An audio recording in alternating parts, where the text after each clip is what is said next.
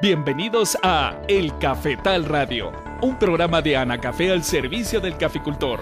En este programa hablaremos de temas que le ayudarán a seguir produciendo el mejor café del mundo, el café de Guatemala. Amigos cafetaleros, buenos días. Estamos de nuevo con ustedes para llevarles su programa El Cafetal Radio, un programa de Anacafé al servicio del caficultor. Bienvenidos, mi nombre es Daniel Vidal y una vez más nos acompaña el ingeniero Maynor Vázquez, técnico de Anacafé, para compartir conocimientos sobre el manejo de semilla de café. Maynor, buenos días. Daniel, buenos días. De nuevo estamos en el programa El Cafetal Radio y aprovechamos como siempre para enviarle un cordial saludo a nuestros radioescuchas y en especial a nuestros amigos caficultores de todos los municipios productores de café de Guatemala que sabemos que todos los días trabajan incansablemente para producir el mejor café del mundo, nuestro café, el café de Guatemala. Así es, Minor, y para producir el mejor café del mundo es importante seguir las recomendaciones de los técnicos expertos en café. Hoy platicaremos sobre el manejo de semilla de café. Coméntenos en qué consiste esta actividad. Daniel, antes de definir en qué consiste el manejo de semillas de café, me parece importante que conozcamos los métodos que se utilizan en la propagación del cultivo. Y el cafeto puede propagarse por dos métodos, el método sexual y por el método asexual. El método sexual es cuando se utilizan las semillas para la propagación de las plantas y en el método asexual la propagación del café se realiza por medio de cultivo de tejidos. ¿Cuál es el método de cultivo de tejidos? Este método permite producir una gran cantidad de plantas en cualquier época del año y se realiza a partir de fragmentos de hojas. Es un método caro, se necesita de infraestructura adecuada y mano de obra especializada, pero tiene la gran ventaja de multiplicar plantas con iguales características de la planta madre. Para el caso de nuestra caficultura, la propagación de las plantas de café se realiza por medio de semillas. Si la propagación de las plantas de café en Guatemala se realiza por medio de semillas, explíquenos entonces en qué consiste el manejo de la semilla. El manejo de las semillas de café consiste en diferentes pasos que se tienen que dar para cuidar la variedad seleccionada desde el momento que se cosecha de un lote destinado para semilla hasta la siembra. Este manejo es de fácil realización, es económico y bastante confiable si se toman los cuidados necesarios en la selección adecuada de las plantas madres para la obtención de la semilla. Maynor, ¿y por qué se realiza una selección adecuada de la semilla de café? Quiero decirle que una de las razones por las cuales no tenemos una buena productividad por manzana en nuestras plantaciones es porque no contamos con cafetales provenientes de una semilla garantizada. La mayoría de pequeños productores y algunas fincas medianas no saben la procedencia de la semilla que han utilizado y en algunos casos ni qué variedad tienen sembrada o tienen una mezcla de variedades, por lo cual es necesario que el caficultor sepa que un buen manejo de la semilla garantiza por lo menos en un 50% el éxito de un cafetal.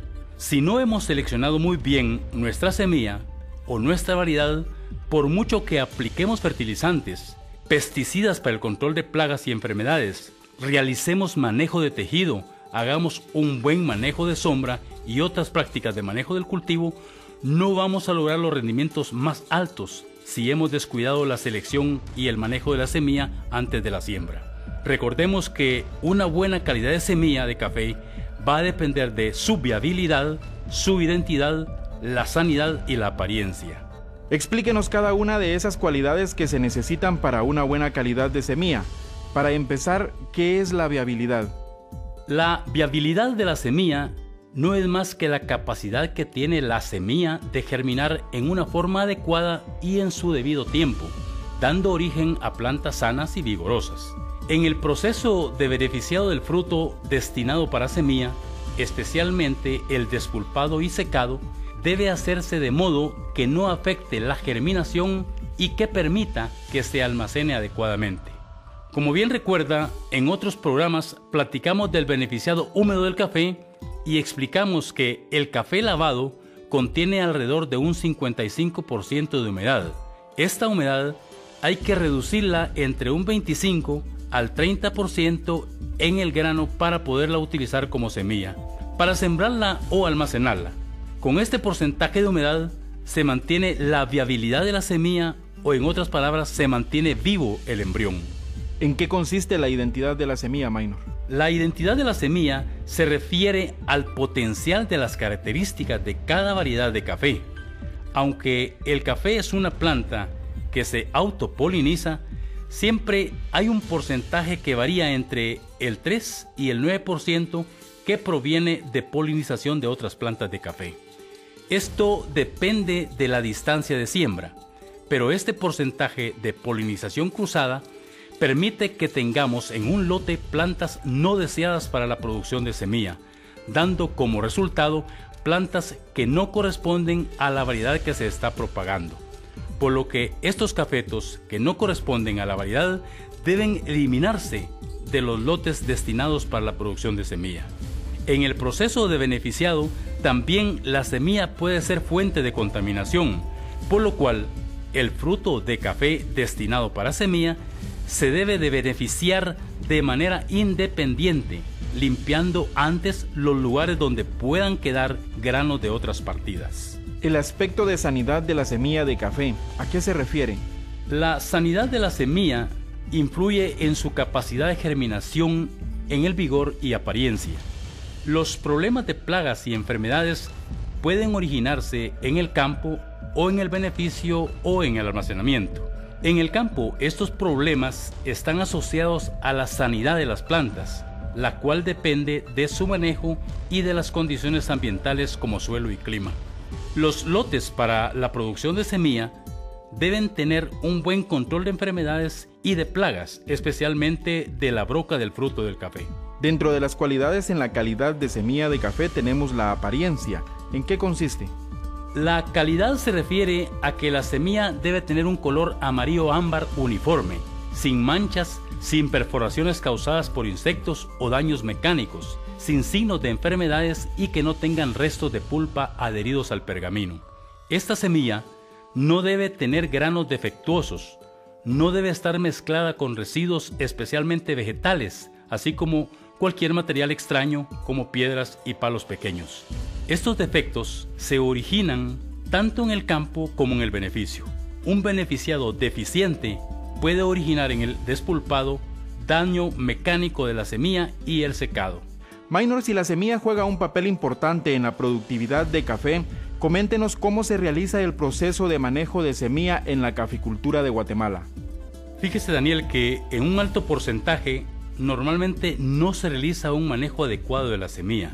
Una de las prácticas comunes para obtener semilla en las fincas es a través de la selección de plantas que presentan buenas características de la variedad dentro de los cafetales donde existen más de una variedad de café, por lo cual se corre el riesgo que esa planta transmita a su descendencia plantas que no tienen características de la variedad que se ha seleccionado por la posibilidad que hablamos anteriormente de tener un porcentaje de polinización cruzada y por la participación de otras variedades en la formación de la semilla. Otra de las prácticas para obtener semilla de café es a través de la selección de plantas de lotes con una sola variedad, pero no se sigue el proceso adecuado de manejo de semilla que al final nos da una semilla de baja calidad.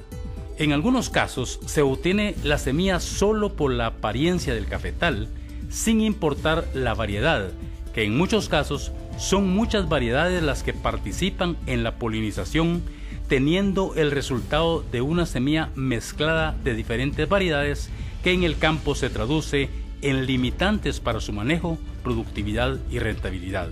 Es muy importante que la semilla seleccionada provenga de un lote exclusivamente para la producción de semilla. En la actualidad, Anacafé apoya un programa de producción de semilla garantizada en varias fincas del país. Estos caficultores, apoyados por Anacafé, ya están produciendo semilla de diferentes variedades.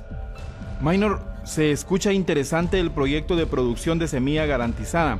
¿Podría ampliarnos al respecto?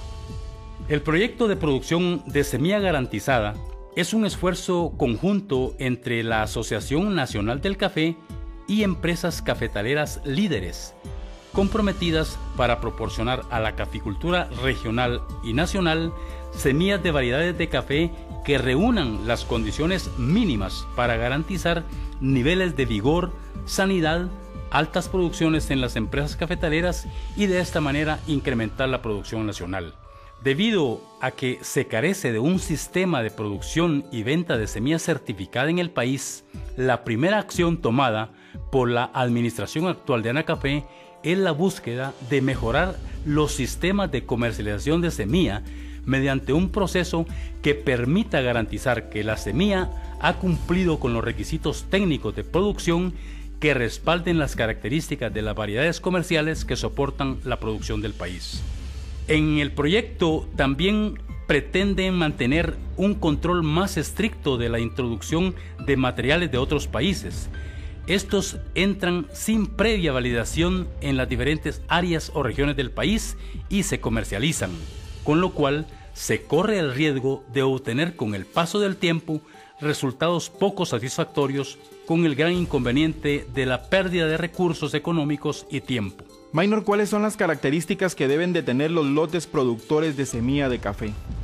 Daniel, los lotes para la producción de semilla garantizada deben corresponder a la variedad que se pretende comercializar.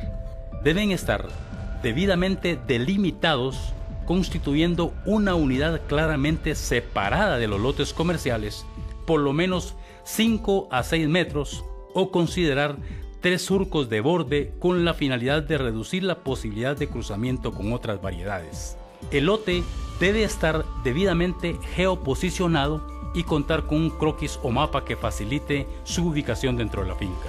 Todas las plantas presentes dentro del lote de semilla deben presentar las características propias de la variedad. Si por alguna razón dentro del lote se encuentran plantas con características distintas que no corresponden a la variedad, estas deben de ser eliminadas para reducir la posibilidad de cruzamiento con otras variedades. Deben eliminarse todas las plantas débiles y enfermas aunque correspondan a la variedad, pues el objetivo es ofrecer semilla que garantice condiciones adecuadas de salud y producción. Los lotes para producir semilla también deben de contar con los registros de actividades agronómicas que se realicen, así como también registros de la productividad anual del lote para contar con información que permita la promoción de la semilla en lo relativo a su capacidad productiva. ¿Cómo se realiza la selección de los frutos de café destinados a la producción de semilla?